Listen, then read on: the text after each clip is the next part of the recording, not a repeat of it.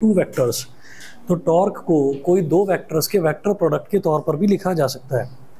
और अब आप ये देखेंगे कि कैसे लिखेंगे इसको। Consider a particle P in the X Y plane suppose its position vector is O P vector is equal to R vector let capital F vector be the force acting on the particle the torque acting on the particle is defined as the vector product of position and force vectors vector product of the position and force vectors तो हमने इसमें ना ये देखा कि हमारे पास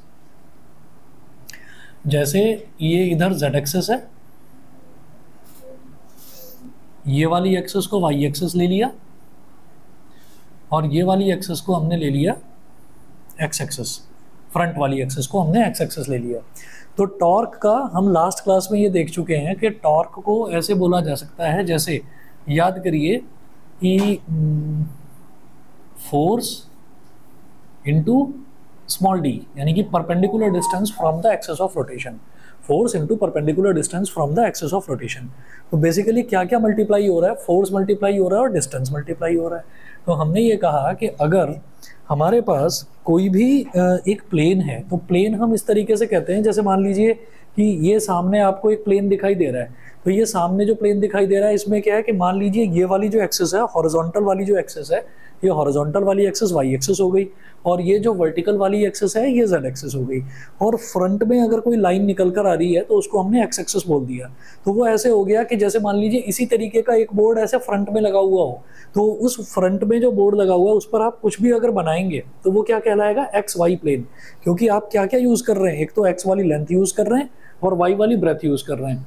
इस पर बोर्ड पर मैं कुछ भी बनाऊँगा तो आ, इसका लेंथ इधर ये वाला लेंथ कितना है? वाई मतलब वाई एक्सेस है ये वाला ठीक है? और जो वर्टिकल एक्सेस है ये जेड एक्सेस है तो इस पर कुछ भी अगर हम बनाएँगे तो वो क्या कहलाएगा? वाई जेड प्लेन तो हमने ये माना कि हमें एक्स वाई प्लेन बनाना है। तो एक्स वाई प्लेन कैसे बनेगा? एक्स से वाई एक्सेस के पैरेलल एक डॉटेड लाइन ड्रॉ कर लो ऐसे। हाँ एक्स वाई प्लेन का मतलब है कि ऐसे सामने की तरफ़ एक बोर्ड लगा हुआ है ऐसे फिट हो रखा है। तो अब आप ये सोचिए कि यहाँ पर कोई ये पार्टिकल रखा हुआ है ऐसे पार्टिकल पी ठीक है? पार्टिकल है वो कहाँ पर रखा हुआ है? पॉइंट पी पर रखा हुआ है पार्टिकल तो अब हम इस पर फोर्स लगा रहे हैं। तो हमने कहा कि फोर्स कैसे लगाई जा रही है? फोर्स चलिए जी, ऐसे लगाई जा रही है। और ये ओरिजिन है। ओरिजिन के अबाउट इस पार्टिकल को घुमाया जा रहा है तो ओरिजिन से इसका डिस्टेंस निकालेंगे। ओरिजिन से इसका डिस्टेंस निकालेंगे। इसका वेक्टर डिस्टेंस वेक्टर हो गया, ये आर वेक्टर फोर्स भी एक वेक्टर क्वांटिटी होती है एफ़ वेक्टर तो हम इस तरह से ये कह सकते हैं कि tau vector is equal to R vector cross F vector ठीक है?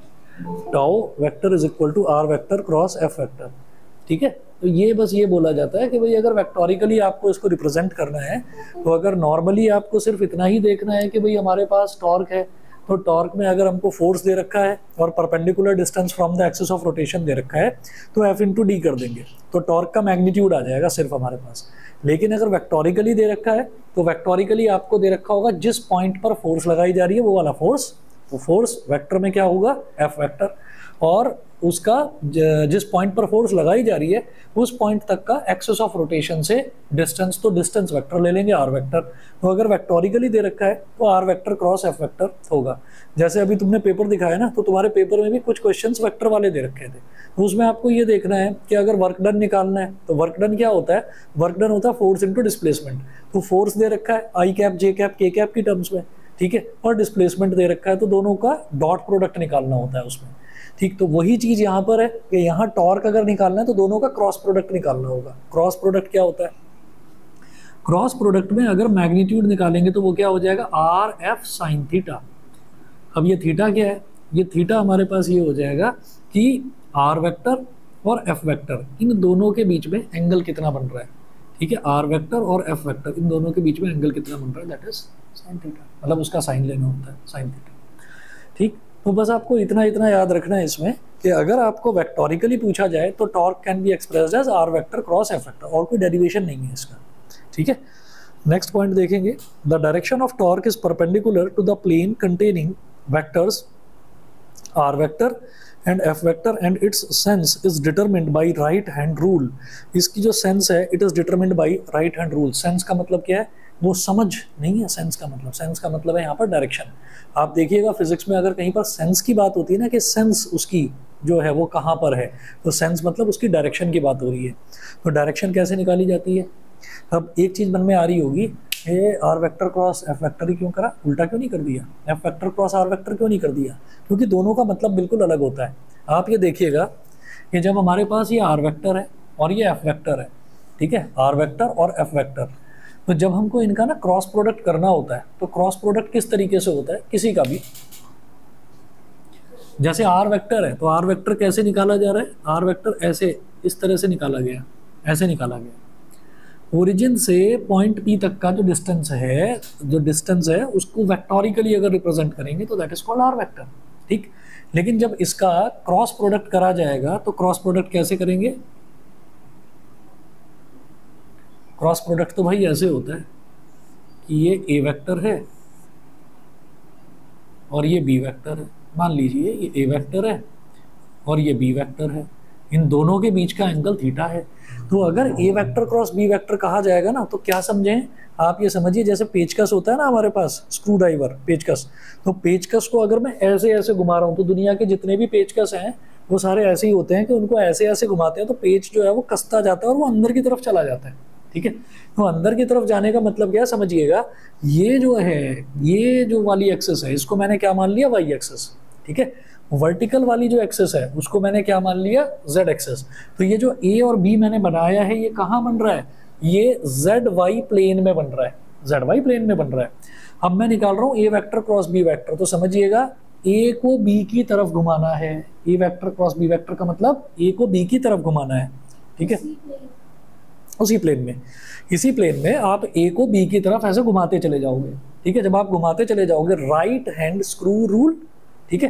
तो राइट हैंड स्क्रू रूल का मतलब क्या है कि आपका राइट हैंड आप पकड़कर और आप स्क्रू ड्राइवर से उसको कसते जा रहे हो पेज को टाइट करते जा रहे हो तो उसका डायरेक्शन कहाँ पर हो जाएगा? डायरेक्शन बताइए भाई, क्या हो जाएगा? डायरेक्शन क्या हो जाएगा? इन टू द बोर्ड अंदर की तरफ़, ठीक है? और इन टू द बोर्ड क्या है? देखिए, बाहर की तरफ़ वाला डायरेक्शन क्या? पॉजिटिव एक्स एक्सेस तो अंदर की तरफ़ वाला डायरेक्शन क्या हो जाएगा? नेगेटिव एक्स एक्सेस ठीक है? अच्छा अब उल्टा सोचो B vector cross A vector B vector यानी कि बी को ए की तरफ़ घुमा रहे हो तो यानी कि ऐसे ऐसे घुमा रहे हो, ऐसे, उल्टा।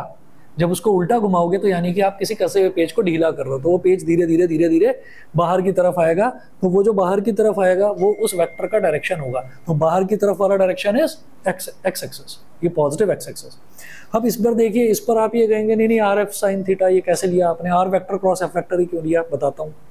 हम ये कहते हैं कि कोई भी जब हमारे पास वेक्टर होता है ना तो अगर वेक्टर का मेरे को क्रॉस प्रोडक्ट निकालना होता है तो वेक्टर एक ही पॉइंट से दोनों वेक्टर स्टार्ट हो रहे हो। ऐसा तो नहीं हो रहा है यहाँ पर। यहाँ पर क्या है? यहाँ पर ये ओरिजिन से आ रहा है। कैसे आ रहा है ओरिजिन से? अरे भाई, जो भी वेक्टर निकाला जाता है ना, किसी भी पॉइंट का अगर डिस्टेंस वेक्टर निकालते हैं तो वो ओरिजिन के रिस्पेक्ट में निकालते हैं। किसी ने कह दिया आपसे, भाई, अपने अपने लोकेशन भेज दे। आप अपनी लोकेशन भेज देते हैं ना वो गूगल मैप्स पर। और गूगल मैप्स पर लोकेशन में जाकर कभी कभी कभी कभी क्या होता है कि वो उस जगह का आपने नाम फ़ीड कर दिया। या अगर ऑनलाइन उस जगह का नाम फीडेड नहीं है, आप कहीं जंगल वंगल में तो आप ये देखेंगे कि लोकेशन के नाम पर ना डिग्री डैश वो लिखा हुआ जाता है, ठीक है? और वो सारी चीज़ें आप जानते हैं, वो कोऑर्डिनेट जाते हैं, और वो डिग्री डैश वो क्या है? वो एंगल है एंगल है। एंगल में डिग्री की जब बात होती है तो जैसे मीटर होता है मीटर के बाद अगली यूनिट सेंटीमीटर होती है, ठीक है? उसके बाद अगली यूनिट मिलीमीटर उससे छोटी यूनिट सब यूनिट्स तो इसी तरह से डिग्री की सब यूनिट मिनट और मिनट की सब यूनिट सेकंड ऐसे होता है। तो डिग्री के लिए तो एक छोटा सा सर्कल बना देते हैं बबल बना देते हैं और मिनट के लिए डैश लगा देते हैं और सेकंड के लिए डबल डैश लगा देते हैं। तो वो आपकी पोजीशन है। पोजीशन किसके रिस्पेक्ट में ओरिजिन के रिस्पेक्ट में।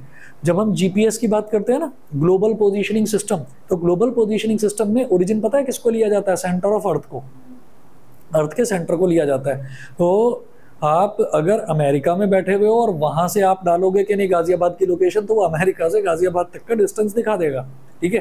रूट्स दिखा देगा कि सी रूट ये है एयर रूट ये है रोड रूट ये है, वो इस तरह से सारी चीज़ें दिखा देगा आपको। तो आप ये देखिएगा, वो सारी चीज़ें क्या हैं? वो कोऑर्डिनेट्स ही तो हैं। तो जब भी कभी वेक्टर कोई स्टार्ट होता है ना, वो ओरिजिन से स्टार्ट होता है। तो हमने ये कहा कि इस वजह से पॉइंट पी का अगर डिस्टेंस वेक्टर निकाला जाएगा तो ये तो ओरिजिन से स्टार्ट हो रहा है।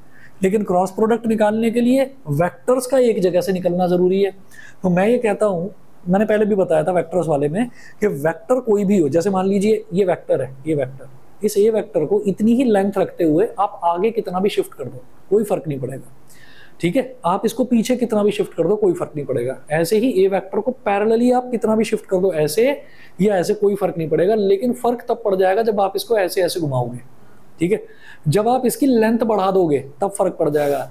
किसी भी वेक्टर की लेंथ का मतलब होता है उसका मैग्नीट्यूड मैग्नीट्यूड मतलब उसकी वैल्यू आप उसकी लेंथ बढ़ा रहे हैं या घटा रहे हैं तो आप मैग्नीट्यूड कम या ज़्यादा कर रहे हैं। वो नहीं कर सकते, ठीक? तो ऐसा ही है, मैंने यही लेंथ रखी और इसको खिसका के आगे ले आया। हमने क्या करा? ये एफ़ वेक्टर ऐसे रहा। और इसको मैं ऐसे लेकर आ गया। ठीक है? तो अब ये जो बीच का एंगल है दिस इज़ कॉल्ड थीटा ये अब थीटा कहलाएगा ठीक है? तो अब क्या हो गया? हम किसी भी वेक्टर को, आप ये कहें कि नहीं नहीं ये ऐसे कैसे करा भाई? ऐसे कैसे करा? ये तो मैं तो एफ़ वेक्टर को इधर खिसकाना चाहता हूँ तो ले आओ। वो भी कोई प्रॉब्लम नहीं है। आप एफ़ वेक्टर को पैरेलली खिसका सकते हो और ओरिजिन पर मैच करा सकते हो। कुल मिलाकर हमारा जो पर्पज़ है वो ये है कि जो दोनों वैक्टर्स हैं, जिनका मैं क्रॉस प्रोडक्ट कर रहा हूँ ना, वो को इनिशियल वैक्टर्स हों। को इनिशियल का मतलब एक पॉइंट से निकलते हुए वैक्टर्स हों। तो आप चाहे तो आर को आगे शिफ्ट कर दो, चाहे एफ़ को थोड़ा सा ऐसे शिफ्ट करो कि एफ़ यहाँ से स्टार्ट हो जाए। एफ़ को पैरेलली शिफ्ट करा जा सकता है। ऐसे। तो चाहे ऐसे बोल दो। तो तब हमें दोनों के बीच का एंगल ये वाला लेना होगा। ठीक है? क्योंकि ये वाला एंगल तो भाई 90 डिग्री ही होगा। Force force into perpendicular distance from the axis of rotation समझ गया मेरी बात? ठीक तो अब आप ये देखिए कि जब मैं R vector cross F vector करूँगा तो आर एफ़ की तरफ़ जा रहा है आर एफ़ की तरफ़ जा रहा है तो उसका सेंस यानी कि उसका डायरेक्शन क्या होगा? आउटवर्ड उसका डायरेक्शन बाहर की तरफ़ होगा। ठीक है, समझ गए? ठीक है, चलिए जी तो अब स्पेशल केसेस देख लीजिए। स्पेशल केसेस क्या हैं? वो बेहद आसान है। One theta is equal to zero degree और 180 डिग्री। थीटा की वैल्यू अगर ज़ीरो डिग्री हो गई या 180 डिग्री हो गई तो जरा ऐसे ही देख लो, मैं करके नहीं दिखा रहा। थीटा की वैल्यू ज़ीरो डिग्री है तो साइन ज़ीरो क्या होता है ज़ीरो? साइन 180 क्या होता है, वो भी ज़ीरो। ठीक है तो टॉर्क हमारा होगा ही नहीं। अगर थीटा की वैल्यू ज़ीरो डिग्री है, थीटा की वैल्यू ज़ीरो डिग्री का मतलब क्या है क्या हुआ कि भाई दोनों के बीच में एंगल ही नहीं बन रहा है, कुछ भी। कुछ भी एंगल नहीं बन रहा है। तो जब दोनों के बीच में एंगल ही नहीं बनेगा तो टॉर्क कहाँ से लगेगी? टॉर्क लगेगी ही नहीं। टॉर्क लगाने के लिए किसी एंगल पर तो रोटेशन प्रोवाइड कराएँगे ना। वो एंगल ही नहीं है। अगला देखिए one theta is equal to 90 degree जब थीटा 90 डिग्री है तो जो आपका टॉर्क है, वो मैक्सिमम होगा। क्यों?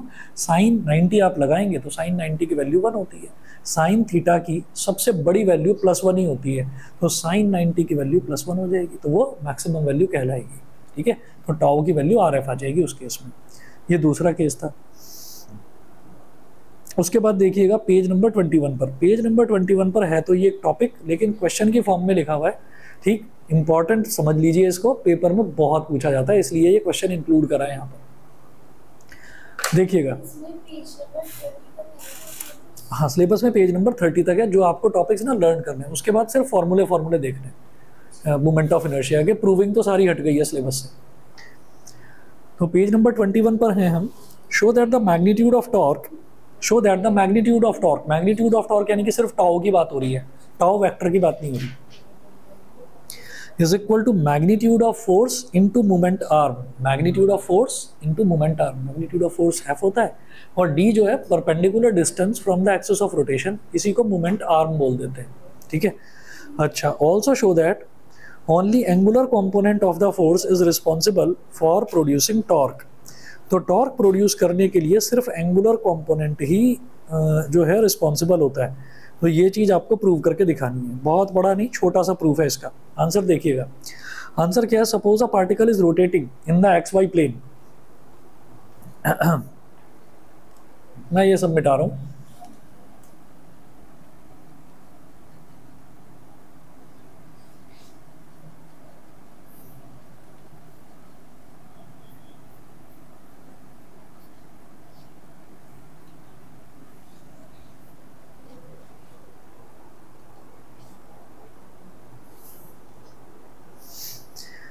तो हमें क्या करना है? Magnitude of torque is equal to magnitude of force into moment arm ये चीज़ हमको प्रूव करके दिखानी है। तो देखिए suppose a particle is rotating in the X Y plane suppose a force vector makes an angle theta with the position vector R vector of the particle ठीक?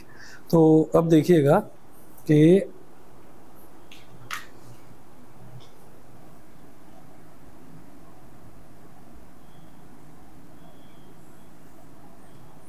मैं टॉपिक कर रहा हूँ क्वेश्चन है on page number twenty one page number twenty one पर जो question है, वो वाला डिस्कस कर रहे हैं हम।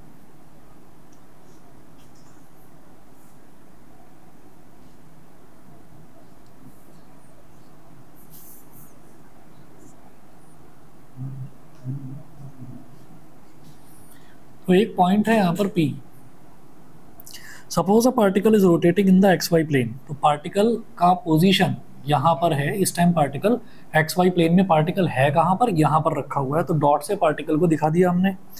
अब इस पार्टिकल का वो निकालते हैं डिस्टेंस वेक्टर वो कैसे निकालते हैं? ओरिजिन से इसको ज्वाइन कर दीजिए। डिस्टेंस वेक्टर बोलो या डिस्प्लेसमेंट वेक्टर बोलो, एक ही बात है। तो आर वेक्टर ये हो गया पॉइंट पी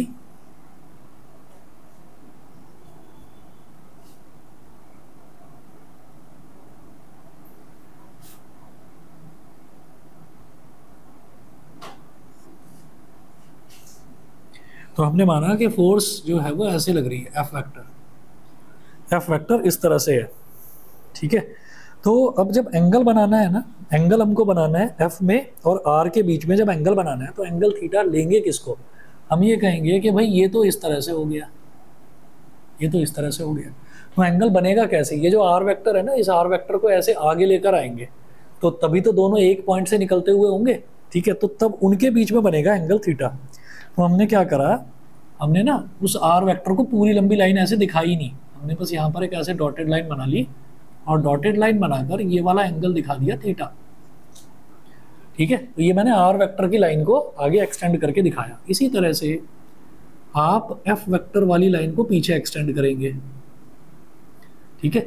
और जब पीछे एक्सटेंड करेंगे तो आप कहेंगे, आपने इसी लाइन को एक्सटेंड करा पीछे और इस लाइन को एक्सटेंड करा आगे। तो इधर अगर एंगल थीटा है ना तो ये वाला एंगल भी थीटा बन जाएगा क्योंकि वर्टिकली अपोजिट एंगल्स हैं दोनों के दोनों। ठीक है? अच्छा जी, उसके बाद आगे चलते हैं। इसके बाद आगे चलते हैं। ये थीटा हो गया, ये थीटा हो गया। अब मुझे देखना क्या होता है? मुझे देखना होता है force into perpendicular distance from the axis of rotation तो भाई फोर्स तो ये लग रहा है। और एक्सेस ऑफ़ रोटेशन ये ओरिजिन है। तो ओरिजिन से इस वाली लाइन पर इधर तो परपेंडिकुलर ड्रॉप होगा नहीं।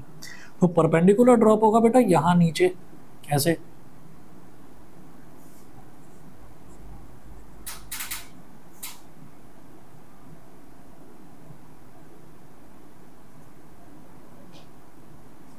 ये परपेंडिकुलर हो गया तो परपेंडिकुलर डिस्टेंस हमारे पास ये बन जाएगा, इसको बोलेंगे डी ये वाला जो पॉइंट है ना, इस वाले पॉइंट को मैंने बोल दिया एन ठीक है?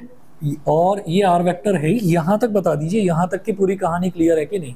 हमने क्या देखा? हमने देखा कि एक पार्टिकल है पॉइंट पी पर यहाँ पर, एक पार्टिकल है। उस पार्टिकल पर फोर्स ना इस डायरेक्शन में ऐसे लग रही है, ठीक है? ऑनलाइन वालों को भी समझ में ना आए तो बता देना। आहान युविका बता देना।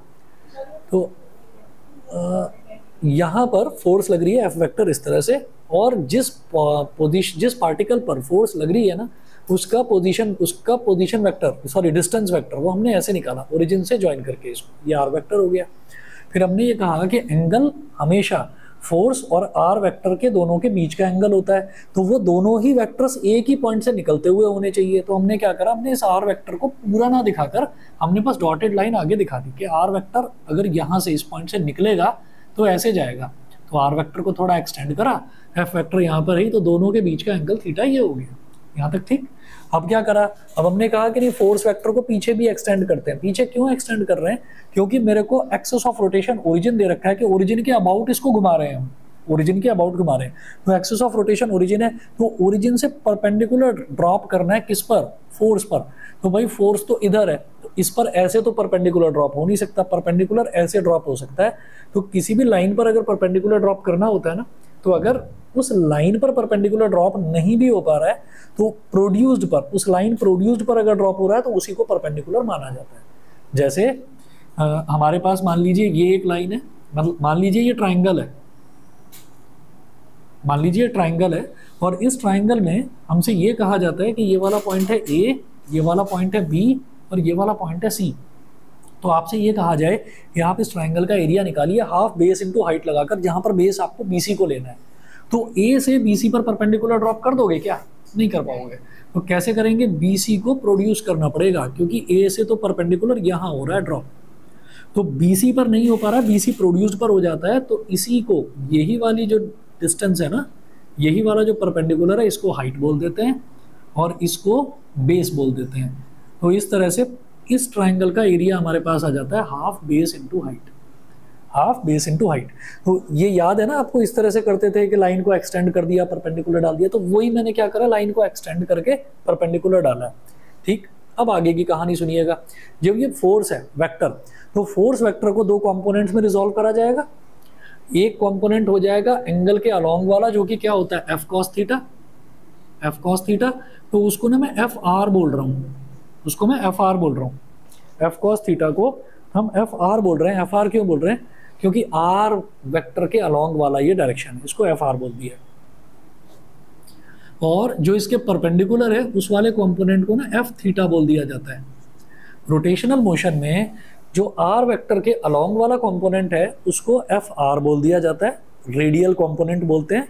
ठीक है? और जो रेडियल के परपेंडिकुलर वाला कंपोनेंट है, उसको एफ़ थीटा बोलते हैं। ये बिल्कुल वैसे ही है। जैसे लीनियर मोशन में ना एफ़ एक्स बोल देते थे हॉरिजॉन्टल को, है ना? और एफ़ वाई बोल देते थे वर्टिकल को। ये वही चीज़ है। यहाँ पर रेडियल कंपोनेंट हॉरिजॉन्टल कंपोनेंट को रेडियल कंपोनेंट बोल देते हैं और वर्टिकल कंपोनेंट को एंगुलर कंपोनेंट बोल देते हैं। तो एफ़ आर और एफ़ थीटा ये वैसे ही है, जैसे एफ़ एक्स और एफ़ वाई हुआ करता था। समझ गया मेरी बात? यहाँ तक क्लियर है? एफ़ आर कुछ नया नहीं है। एफ़ आर वही है एफ़ कॉस थीटा जो आप पहले देखते थे। एफ़ थीटा कुछ नया नहीं है वो भी एफ़ साइन थीटा ही है। वो वही चीज़ है। बस नाम अलग अलग हो गए हैं। ठीक है? जैसे आपने इक्वेशंस ऑफ़ मोशन देखी हैं।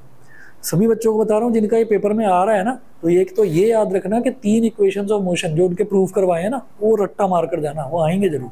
ठीक है ना? वो आएँगे ज़रूर। और ये वाला क्वेश्चन भी इंपॉर्टेंट है। और बहुत छोटा सा ही क्वेश्चन है। हाँ? एंगुलर मोशन इसमें रोटेशनल में नहीं आएगी चौथी। उसमें तो आएगी, पक्का आएगी।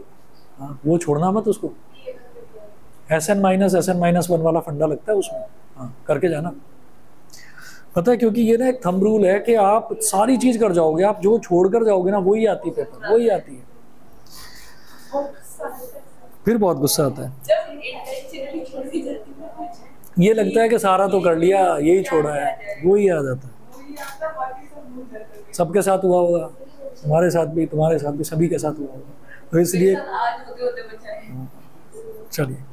चलिए जी तो अब क्या है? Draw O N perpendicular to the line of action of the force in triangle O N P अब ट्राइंगल ओ एन पी की बात करते हैं। मैं टॉर्क निकालना चाह रहा हूँ। तो टॉर्क क्या होता है? R F sine theta R F sine theta होता है टॉर्क ठीक है। तो हमने ये कहा कि साइन थीटा अगर निकालेंगे तो भाई ये साइन थीटा निकलेगा कहाँ पर? Sine theta cos theta tan theta कहाँ निकलता है? राइट ट्राइंगल में। तो साइन थीटा कैसे निकलेगा? ओ एन पी इस ट्राइंगल में। In triangle ONP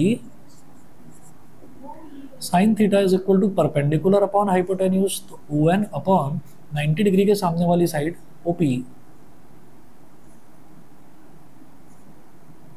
ON क्या है? डी और OP क्या है? R ये हो गया। साइन थीटा की वैल्यू हो गई डी अपॉन आर इसका मतलब स्मॉल डी की वैल्यू क्या है? आर साइन थीटा इसको बोल दीजिए इक्वेशन नंबर वन उसके बाद आप ये कहेंगे as we know that magnitude of torque is given by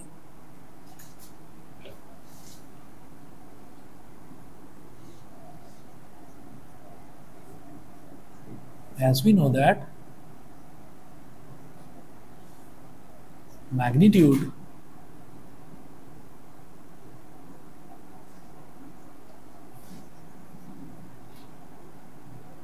of torque is given by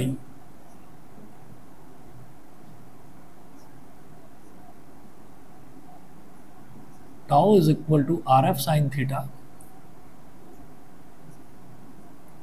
rf sin theta तो इसको f तो अलग लिख लो और r sin थीटा अलग लिख लो। तो टाउ इज़ इक्वल टू क्या हो गया? एफ़ डी हो गया। यही प्रूव करना था।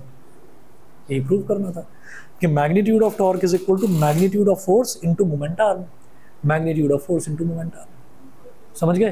तो आपको जो मेहनत करनी है, जो चीज़ याद रखनी है, वो याद रखने वाली क्या है? ये डायग्राम बस ये डायग्राम आपको याद रखना है। इस डायग्राम में ये ट्राइंगल बनाना है और थीटा इस वाले एंगल को लेना है। अब आगे देखिएगा। F vector can be resolve into two components अब ये जो दो कॉम्पोनेंट्स हैं, जरा इन दो कॉम्पोनेंट्स की बात कर लेते हैं। तो F vector can be resolve into two components radial component F R acting along the direction of R vector angular component और tangential component F theta perpendicular to R vector यहाँ पर आप ये देखिएगा radial component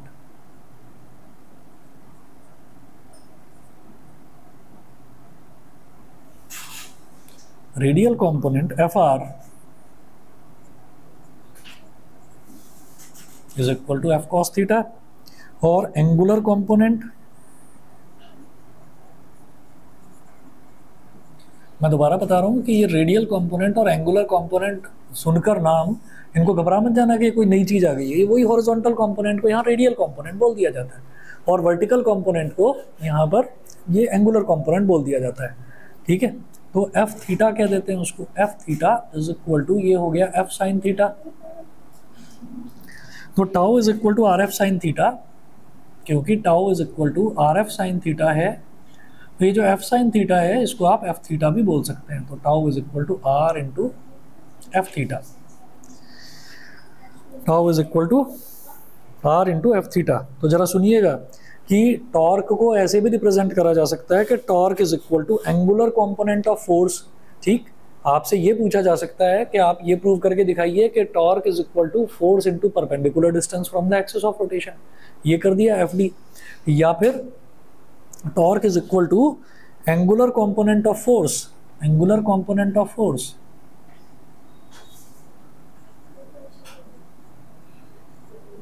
angular component of force multiplied by distance from the axis of rotation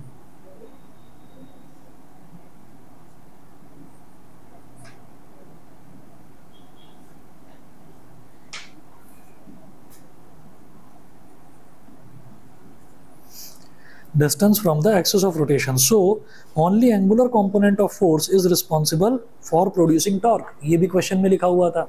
ठीक है? देख लीजिए जरा क्वेश्चन में क्या लिखा हुआ है कि also show that only angular component of the force is responsible for producing torque torque produce करने के लिए सिर्फ़ एंगुलर कॉम्पोनेंट ही रिस्पॉन्सिबल होता है। ठीक है? मतलब ये रेडियल कॉम्पोनेंट जो है ना ये रिस्पॉन्सिबल नहीं होता। ठीक है, सिर्फ़ angular component F sine theta ही तो एंगुलर कंपोनेंट है। तो टॉर्क के फॉर्मूले में क्या आ रहा है? एंगुलर कंपोनेंट ही तो आ रहा है। इसका मतलब angular component is responsible for producing torque बस इतना सा ये दिखाना, ये जरा सा है कि angular component is responsible for producing torque पहला वाला जो पोर्शन था, उसमें क्या प्रूव करना था कि torque into force into movement arm ये perpendicular distance from the axis of rotation इसको मूवमेंट आर्म भी बोल देते हैं। समझ गए? ठीक है जी क्लियर ठीक तो ये दो इतने इतने से, एक ही डायग्राम है, ये इतना सा, बस ये आपको करके दिखाना है। मैंने क्वेश्चन के फॉर्म में लिख दिया है। ठीक है तो छोड़ना मत। जनरली जो चीज़ बताता हूँ, वो छोड़ कर जाते हैं बच्चे। फिर वो आती है पेपर में। चलिए जी, आगे चलते हैं।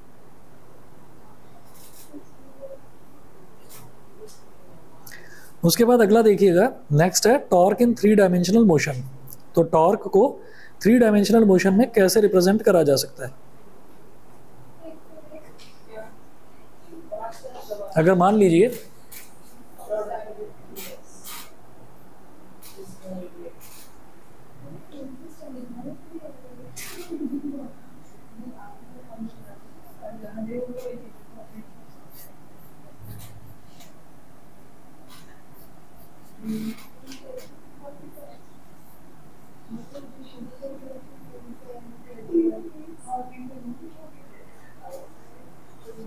अच्छा कल क्लास नहीं ले पाया था, आपकी एक्स्ट्रा क्लास की मैं बात कर रहा था, आज ले सकता हूँ, आप बस सात बजे तक एक बार अपना व्हाट्सएप ग्रुप चेक कर लेना। परेशान नहीं करूँगा, ज़्यादा सिर्फ़ आधे घंटे की क्लास होगी। एक छोटा सा टॉपिक भी हो जाएगा तो कुछ हो जाएगा। नहीं नहीं, नौ से साढ़े नौ, ठीक है ना? मैं मैसेज कर दूँगा, आप सात बजे तक एक बार चेक कर लेना। अगर मैसेज नहीं आया तो इसका मतलब नहीं होगी, और मैसेज आया तो फिर होगी, ठीक है? तो ऑनलाइन मोड में हाँ आज ठीक है ना आज डांटनी पड़ेगी। तुम दोनों हो आज। तो torque in three dimensional motion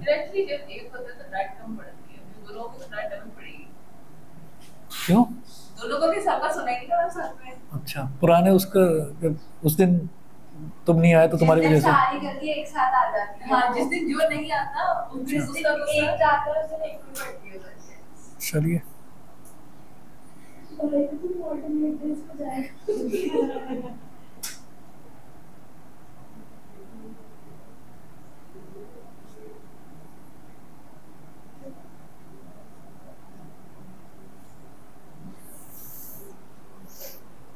torque in three dimensional motion तो tau vector is equal to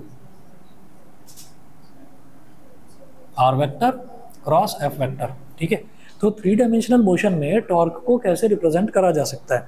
तो आप ये देखिएगा कि अगर हमारा जो ये डिस्टेंस वेक्टर है आर वेक्टर अगर आर वेक्टर ऐसे एक्सप्रेस किया जाए कि X I cap plus Y J cap plus Z K cap ठीक है? और एफ़ वेक्टर को ऐसे रिप्रेजेंट करा जाए कि F X I cap plus F Y J cap plus F Z K cap तो क्रॉस प्रोडक्ट कैसे लिखा जाता है वो देखिएगा। Tau vector is equal to determinant बनाएँगे। I cap J cap K cap X Y Z R vector वाला पहले लिख देंगे एक्स वाई जेड और एफ़ वेक्टर वाला बाद में लिख देंगे एफ़ एक्स एफ़ वाई और एफ़ जेड तो इसको इस तरीके से रिप्रेजेंट करा जाएगा। याद है ना?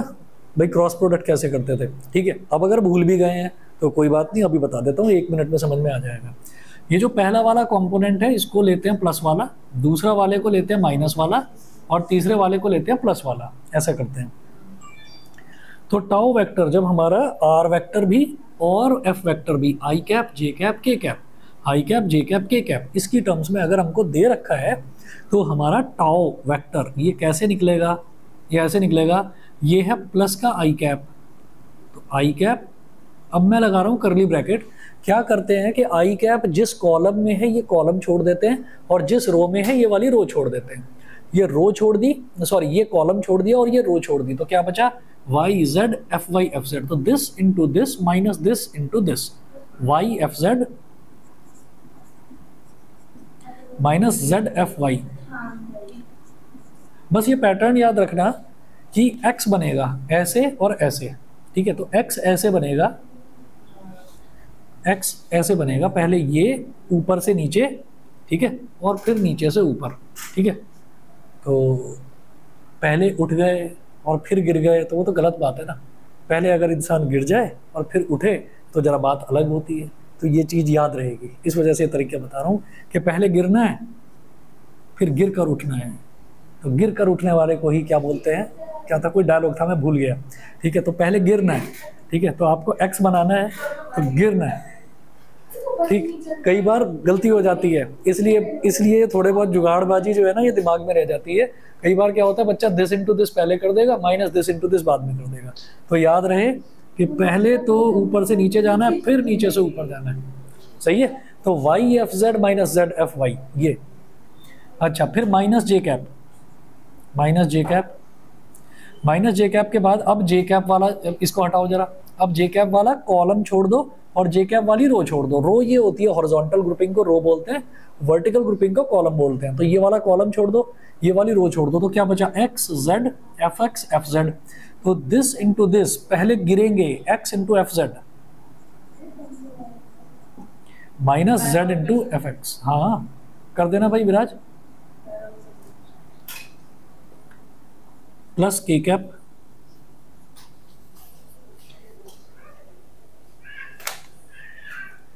K cap. अब ये प्लस के कैप। क्या आ गया। Plus K cap.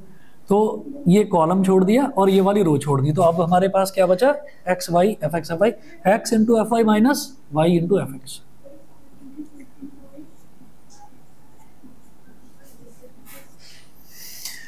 बस ये है, और अब क्या करना है? अब हाँ बस अब कुछ करना ही नहीं है। आई कैप वाला ये आ गया जे कैप वाला, ये के कैप ठीक है? ये चीज़ है। तो ये आपका हो गया torque in three dimensional motion. ये ऐसा टॉपिक है कि ये अलग से आपसे कोई, ऐसा नहीं है कि आपसे अलग से पूछा जाए कि आप इसको करके दिखाओ, ठीक है? मतलब उतना इम्पोर्टेंट नहीं है। जो इससे पहले वाला था, वो इम्पोर्टेंट था। हाँ जी, अगला देखेंगे जरा एंगुलर मोमेंटम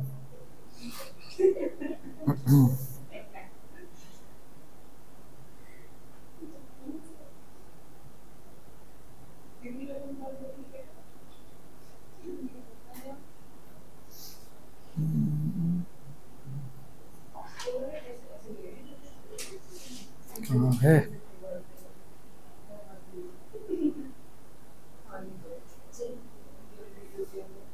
हाँ जी। तो एंगुलर मोमेंटम देखिए। अच्छा इसमें एक चीज़ और देखी है कि भाई जैसे ये टाउ वेक्टर है ना तो इस टाउ वेक्टर को हम ये कह सकते हैं कि tau vector is equal to जैसे एफ़ वेक्टर था एफ़ वेक्टर को बोला F X I cap F Y J cap F Z K cap ऐसी टाउ वेक्टर को बोल सकते हैं tau X I cap plus tau Y J cap plus tau Z K cap. ठीक है? तो जब दोनों को कंपेयर करेंगे ना तो इधर आई कैप का कोफिशिएंट क्या टाओ एक्स और इधर आई कैप का कोफिशिएंट क्या है? ये ब्रैकेट तो हम ये कहेंगे it implies that tau X is equal to Y F Z minus Z F Y ये तो हो गया टॉर्क एक्स एक्सेस की डायरेक्शन में। फिर टाओ वाई यानी कि टॉर्क वाई एक्सेस की डायरेक्शन में ये क्या हो जाएगा? माइनस का, क्योंकि ये प्लस का है तो माइनस का एक्स एफ़ जेड माइनस बाहर लगा दीजिए। माइनस जेड एफ़ एक्स ये हो गया टाओ वाई फिर उसके बाद टाओ जेड ये हो जाएगा X F Y minus Y F X ठीक है? आगे चलते हैं जी नेक्स्ट टॉपिक है एंगुलर मोमेंटम एंगुलर मोमेंटम जैसे लीनियर मोमेंटम होता था तो लीनियर मोमेंटम में क्या करा जाता था? लीनियर मोमेंटम में मास इनटू वेलोसिटी कर देते थे एम इंटू वी वो कहलाता था लीनियर मोमेंटम ठीक है? अच्छा अब इसके बाद बात करेंगे एंगुलर मोमेंटम की। एंगुलर मोमेंटम में क्या होता है? एंगुलर मोमेंटम का फॉर्मूला होता है linear momentum into perpendicular distance from the axis of rotation ठीक है? तो लीनियर मोमेंटम में होता था M into V mass into velocity angular momentum में होगा linear momentum into perpendicular distance from the axis of rotation देखिए एफ़ इंटू डी क्या होता है? टॉर्क होता है। एफ़ इंटू डी होता है टॉर्क और ये होता है पी इंटू डी पी क्या होता है? लीनियर मोमेंटम पी होता है एम वी ठीक? तो बस यही अंतर है।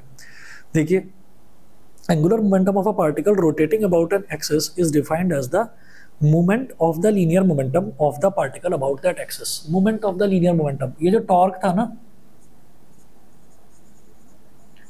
टॉर्क। टॉर्क को आप क्या बोलते थे?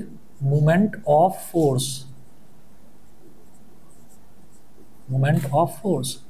Moment of force का मतलब क्या है? Force into moment arm moment arm होता था perpendicular distance from the axis of rotation. Force into perpendicular distance क्या हो जाता है? Torque. Momentum into perpendicular distance क्या हो जाएगा? एंगुलर मोमेंटम बस इतना अंतर है। इसीलिए एंगुलर मोमेंटम को मोमेंट ऑफ़ फोर्स ना कहकर मोमेंट ऑफ़ लीनियर मोमेंटम कह देते हैं। क्योंकि ये एंगुलर मोमेंटम के लिए टर्म यूज़ करेंगे एल एल होता है पी इंटू डी ठीक है? और टॉर्क के लिए टर्म यूज़ करते थे टाओ तो टाओ क्या होता था? एफ़ इंटू डी तो क्या अंतर है? यहाँ एफ़ इंटू डी है, यहाँ पी इंटू डी है। तो एफ़ इंटू डी था तो क्या बोलते थे? मोमेंट ऑफ़ फोर्स यहाँ P इंटू डी है तो मोमेंट ऑफ़ P, यानी कि लीनियर मोमेंटम ठीक है? P लीनियर मोमेंटम है, P is equal to M V वही, ठीक है? तो देखिएगा, लिखा हुआ भी है, L is equal to P D it's ऐसा यूनिट इज़ ऐसा यूनिट बताइए जरा, ये लीनियर मोमेंटम की ऐसा यूनिट क्या होती थी? P is equal to M V P is equal to M V तो मास की unit kilogram metre per second ये होता था तो किलोग्राम मीटर पर सेकंड और डिस्टेंस की यूनिट क्या होती है? मीटर। अरे सुनो, इधर देखो भाई, kilogram metre per second, kilogram metre per second, ये तो पी की यूनिट होती है और डी की यूनिट क्या होती है? मीटर। ठीक है तो एम इंटू एम क्या हो जाएगा? M square A G M square per second. ये हो गया। ठीक है भाई। बायो वाले बच्चों के लिए खुशखबरी है। योगी जी का अनाउंसमेंट सुन लिया ना नया? गाजियाबाद के लिए। गाजियाबाद में नया एम्स बनेगा। हाँ। हाँ। आज ही की न्यूज़ है। आज ही की न्यूज़ है। चलो जी। अभी एम्स बहुत सारे बन गए हैं ना। मतलब इधर जोधपुर में भी है। बहुत सारे हैं। पहले तो बहुत ही उधर उत्तराखंड में है, ऋषिकेश में है। ऋषिकेश में बहुत बढ़िया है। बहुत ही बढ़िया चलिए जी, अब आगे देखिएगा। नेक्स्ट टॉपिक है angular momentum can be expressed as the vector product of two vectors vector product of two vectors तो अब ये देखिएगा कि जैसे हम टॉर्क को देखते थे ना टॉर्क को जैसे रिप्रेजेंट करा जा सकता था R vector cross F vector ठीक है? तो वहाँ एफ़ इंटू डी था तो उसको बोलते थे R vector cross F vector इसको क्या बोलेंगे? या पी इंटू डी है तो R vector cross P vector R vector cross P vector तो बिल्कुल उसी के जैसा, जैसे पहले डायग्राम देखा था, बिल्कुल उसी के जैसा डायग्राम है। जैसा हमने आज जो पहला ही टॉपिक देखा था ना कि torque can be express as the product of two vectors vector product of two vectors वही है।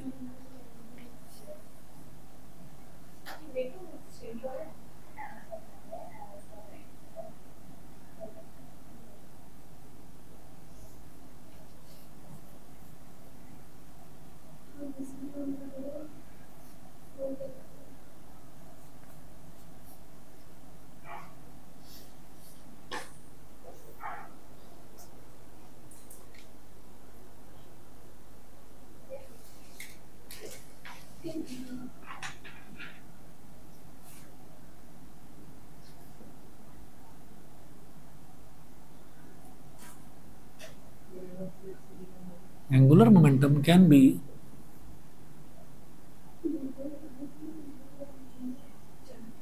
expressed as the product of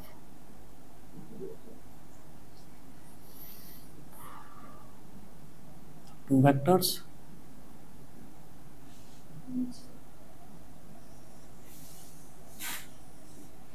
इसमें भी वैसे ही डायग्राम तीन एक्सेस बना लेंगे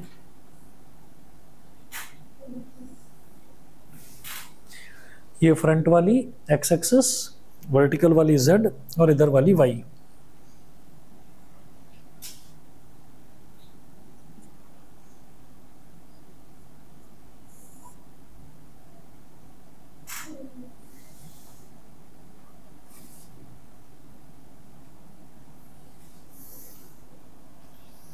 ये ओरिजिन हो गया। हमने कहा कि कोई एक पार्टिकल है यहाँ पर, पी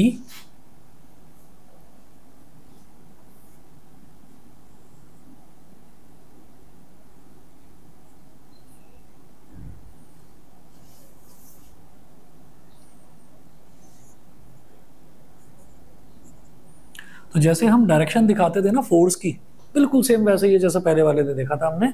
जैसे फोर्स की डायरेक्शन देखी थी, यहाँ पर एफ़ वेक्टर अब यहाँ फोर्स की डायरेक्शन ना देखकर मोमेंटम की डायरेक्शन देख लेंगे लीनियर मोमेंटम की। तो पी वेक्टर इधर हो गया, ठीक है? और फिर क्या करेंगे? जैसे मैंने आपको बताया था कि आर वेक्टर इस तरह से होता है तो चाहे तो आर वेक्टर को इधर एक्सटेंड कर दो, चाहे एफ़ वेक्टर को ऐसे ले आओ पैरेलली तो यहाँ पी वेक्टर है तो पी वेक्टर को पैरेलली ले आओ ना यहाँ पर ऐसे।